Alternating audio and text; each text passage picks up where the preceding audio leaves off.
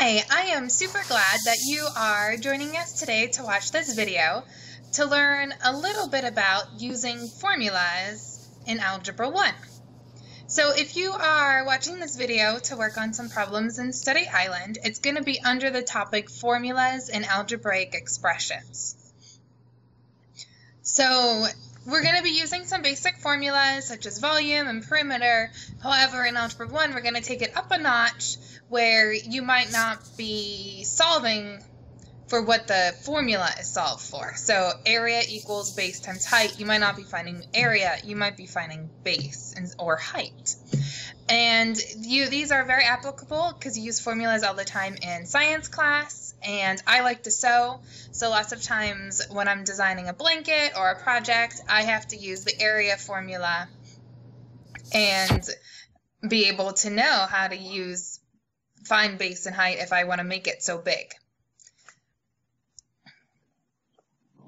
As always, remember the study tips where you can pause, rewind, for, fast forward through this video to help you out. And I highly recommend that you take notes because what you hear, you remember so much, and then you remember even more if you're writing it down and practicing with me. And then also remember you can pause at the beginning of a problem and then try the problem out yourself and then watch my video to see how I work it out. And that way you can find the mistakes that you're making and learn that way also. So I'm glad you're here and we're about to start. So some examples of formulas you might see is temperature, where you have Fahrenheit equals 9 fifths times Celsius plus 32 degrees, or it could also be rewritten so that it's um, the Celsius up front and the Fahrenheit in the equation. Um, and remember, that's a really common one for if you need to go back and forth between Celsius and Fahrenheit and a thermometer. Um, you know, Celsius, you have boiling is 100, and Fahrenheit, it's um, 212. You know, freezing at 32 on the Fahrenheit side and zero on the Celsius side. So sometimes in science, you'll have to go back and forth. Or if you're traveling in a country where they are metric based, that type of thing. And then you also might need to know that volume equals length times width times height. And you might need to know that um, perimeter problems or equations such as perimeter equals 2 times length plus 2 times width.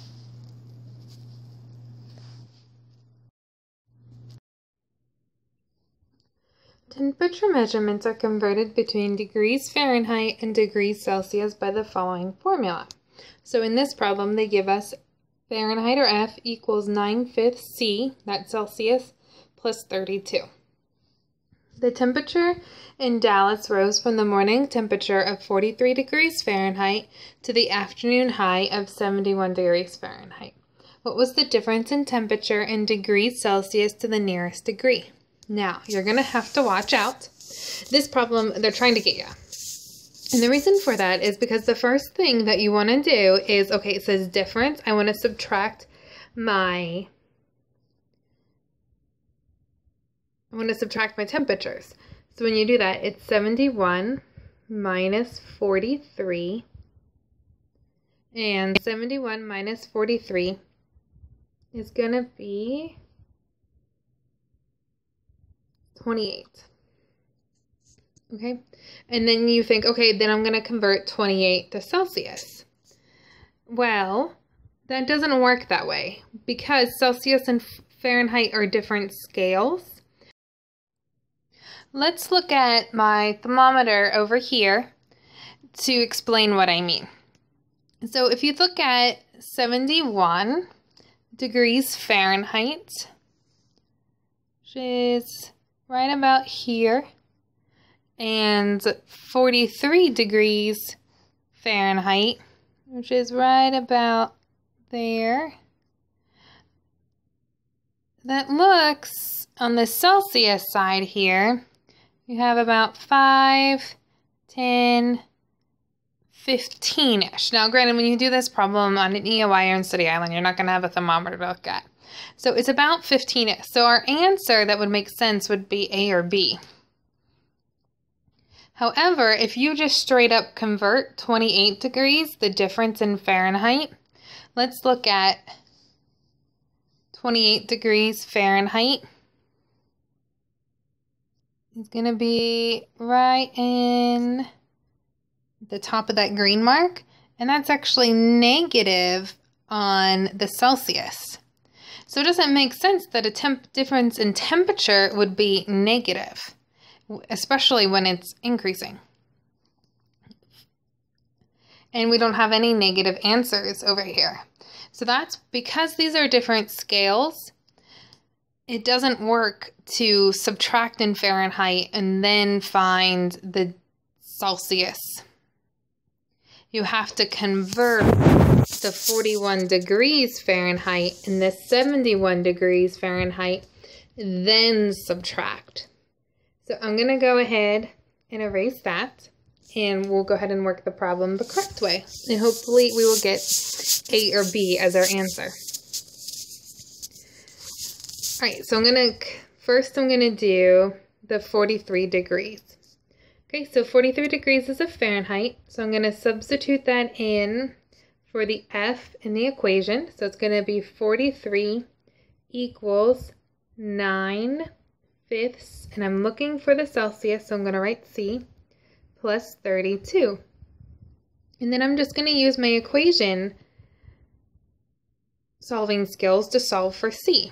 So I have the 9 fifths times C plus 32. This is a two-step equation, so I always do addition or subtraction first. So I'm going to subtract 32 from both sides.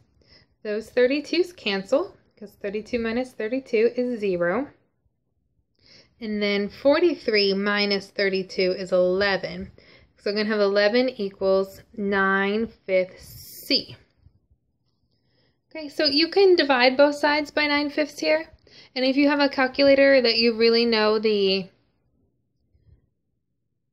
the fraction button well on it, you could just do 11 divided by 9 fraction button 5 equals and get your answer that way. And it's perfectly fine to use a calculator. Don't feel like you're cheating at all. And now you can also multiply both sides by the reciprocal, which when I'm not using a calculator is my favorite way. And the reason that I do that is because 9 fifths times 5 ninths, those are going to cancel and you're just left with the 1. C, or just C in this. And then on the other side, you're going to have 5 ninths times 11. And 5 ninths times 11 is 55 ninths, or that's the same as 6.1 repeating. So 43 degrees Fahrenheit is the same as 6.1 degrees Celsius. Now we're going to have to do the same thing with the 71. So in my formula, I have Fahrenheit, and I'm going to, I know Fahrenheit 71, so I'm going to replace that F with 71 in my other equation here. So 71 equals 9 fifths C, I don't know that, that's what I'm looking for, plus 32. And then it's the same thing. I'm going to use my equation solving skills, so I'm going to subtract 32 from both sides. And 71 minus 32 is 39.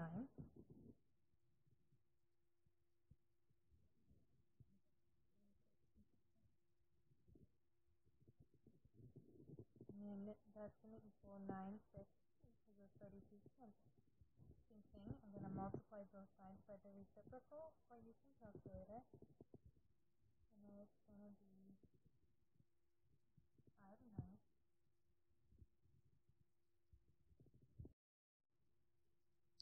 And 5 ninths times 39 is 195 ninths 4, that's going to be 21.6 repeating. So that's what our C equals. Now our last step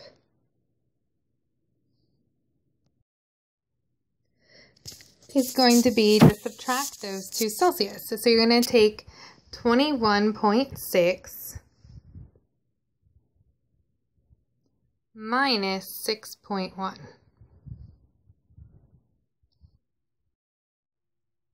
Which is 15.5 which it says to round to the nearest degree, so that's going to be 16 degrees Celsius. So that means my answer is B. Alright, this problem, it says a rectangular pool with a three foot wide path is shown. And it gives us this diagram. The pool has a depth of 10 feet throughout. What is the volume of the pool? Right, so you're going to need to know that volume is equal to length times width times height. So here, the volume is going to equal to the length of the pool is 12. And then the width of the pool is 6. So times 6. And then the height, that's going to be how tall is the pool or how deep is the pool. It tells us that in the problem is 10. This 3 here is extra information. They're trying to give that to you to throw you off. So volume equals, well, you can use a calculator, or if you know 12 times 6 is 72, and 72 times 10 is 720 and that's going to be cubic feet. So my answer here is C. Right, this next problem says work W is measured in joules using the formula work equals F times D, where F is the force in newtons and D is the distance over which the force is applied in meters. If 40 joules of work are needed to move a box a distance of 80 meters, how much force was applied to the box? All right, so I'm going to go ahead and rewrite our formula just so it's easier to see. We have work equals force times distance. And then in my problem, I'm given a distance of 8 meters and a work of 40 meters, and it wants to know how much force. Okay, so I'm going to go and plug in what I know. I know W is 40. And I'm looking for force, so I'm going to rewrite the F. And I know distance is 8. So now I'm just going to have to use my equation solving abilities to solve for force, to solve for the F. So it's force times 8 to undo that multiplication, I'm going to divide both sides by 8. Remember, whatever you do to one side, you have to do to the other to keep the equation balanced. These 8s cancel, and the